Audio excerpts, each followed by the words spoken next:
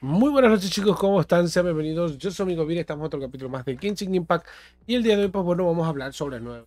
Y no les pido antes de tiempo una disculpa porque precisamente eh, mañana deberíamos prácticamente estar teniendo lo que es el evento de eh, Amber. Ese sí lo vamos a tener, tranquilos, pero probablemente si no lo hago mañana, ¿vale? Eh, les estaré avisando para el día domingo. Estaremos atrasando solamente un día por cuestiones, pues bueno, personales que tengo que salir mañana y probablemente no esté en el stream en la noche. No lo sé, ¿vale? Pero sí quiero decirles una cosa. El día de hoy vamos a hablar eh, sobre el otro evento que tenemos en el Genshin, ¿vale? El cual se está dando protogemas, que se llama Entrenamiento Reminiscente Fervor. Para poder participar eh, en este evento, básicamente lo que necesitamos, como siempre, ser nivel 10 probablemente, ¿vale? Eh, vamos a ver aquí el evento. Verlo acá. Estar por aquí. Si lo tenemos por aquí, ¿por qué no lo tengo por aquí? A ver, a ver si lo encontramos. Haciendo sabio. Deme un segundo y lo busco, chicos. Perdón. Entonces se llama Entrenamiento Reminiscente Fervor. Son eh, desafíos de multijugador, realmente no es difícil. El evento empieza a partir del día 17, empezó ayer. Ya llevamos un día de atraso cuando grabo este video, así que os pido una disculpa por esa parte también, ¿vale? Y termina el día 27, o sea, básicamente va a estar casi una semana, poco más de una semana. Y el evento pues nos va a dar protogemas, libros, eh, mejoras de habilidades, eh, botellitas para mejorar nuestros artefactos y obviamente la mora. Hay que haber alcanzado el nivel 20 superior y pues bueno, prácticamente terminar el acto 3 eh, del dragón y la libertad, que es prácticamente la primera parte de Genshin. Eh, para acceder al evento, pues básicamente eh, eh, hay un número máximo de estrellas entre los días. Cada dos días incrementando 200, partiendo del primer día de 300 hasta llegar a un máximo de 700. ¿Vale? ¿Esto qué significa? Que podemos participar en el evento varias veces y aún así, después de terminado, podemos seguir jugando.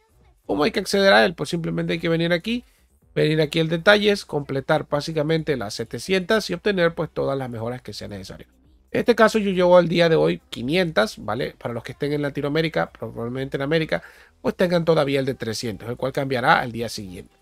Bien, ¿cómo, eh, cómo vamos a trabajar con estos eventos? ¿Vale? Hay diferentes eventos, los cuales básicamente es matar monitos, eh, empujar cositas, eh, mover cositas y que los maten, matar más enemigos, recoger moneditas, matar enemigos, ¿vale? Jefes entre equipos Y obviamente lo más importante, los apoyos reminiscentes. Esto es, hay que ponerse entre comillas de acuerdo. Desgraciadamente es muy imposible ponerse de acuerdo entre todos los, los que juegan a Genshin porque van a jugarlo entre cuatro, no puedes jugarlo en solitario. Por lo cual es muy difícil escoger casi siempre los mejores artefactos. Porque cada quien, digo artefactos, los mejores efectos, porque cada quien escoge lo que se le hinche el huevo de personaje y es un poquito complicado. Y los criterios para puntuación son estos, ¿vale? Básicamente no recibir más de 40 golpes, etcétera.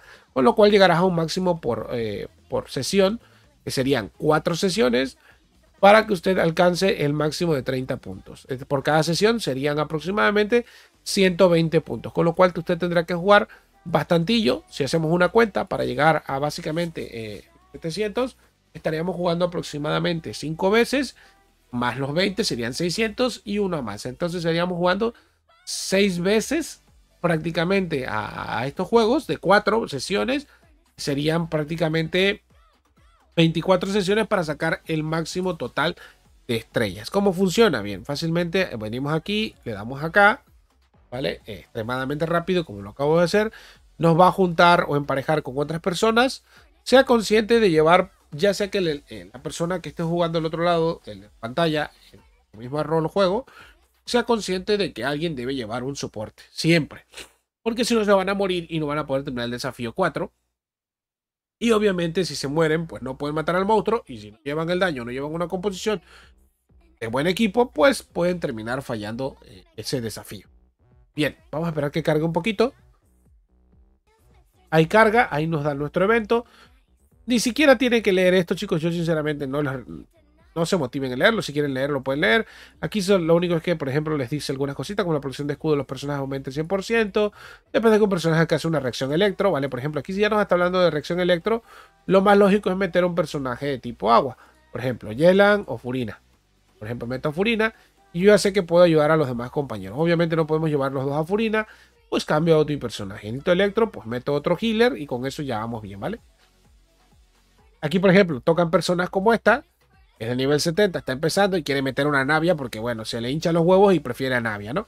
Entonces, eso desbalancea como tal el equipo. Ahí cambió a Kekin, lo cual viene bastante bien. ¿Vale? Y todos fueron con Kekin o Electro. Pues bueno, ahora sí vamos a cambiar entonces nosotros al personaje Furina. Y ya está. Pongo a Furina y ya tenemos el equipo completo. Por lo menos para ser electrocargado. ¿Vale? Con lo cual está bastante bien. Tenemos un healer. Aquí viene la etapa de, escoger.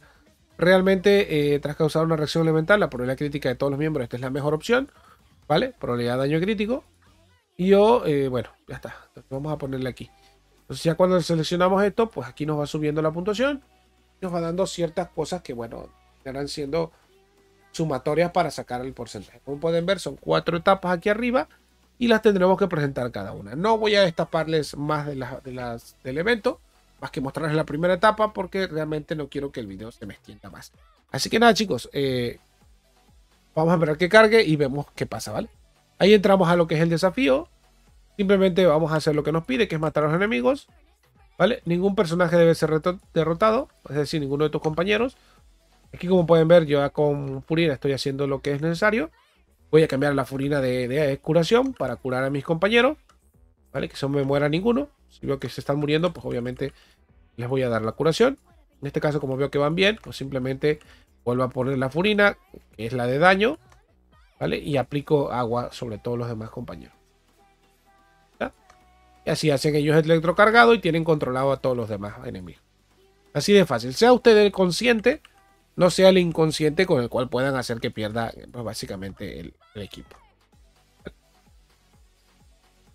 Terminamos la etapa tranquilamente, ya casi faltan dos enemigos.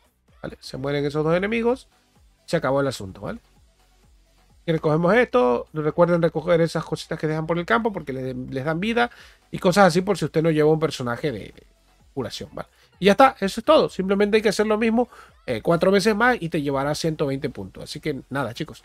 Vamos a confirmar, vuelven a leer los eventos, lo que mejor les venga aquí a ustedes, consideren mejor para la etapa, aquí están los enemigos, ¿vale? Por ejemplo, la maestría, el bono de daño elemental, etcétera, ¿vale? Y escogen 20, entonces vamos a escoger, por ejemplo, eh, bueno, un multiplicador. Este es multiplicador para recoger más moneditas y la vamos a confirmar. Informe de desafío, aquí te dice los informes de desafío, lo que tú necesitas conseguir para sacar, pues básicamente los 30 puntos. Así que nada, chicos, espero que haya servido esta información y nos estaremos viendo. Realmente no es un evento difícil. Pásese la bomba, disfrútelo y se acabó. Nos vemos en la próxima. Venga, bye.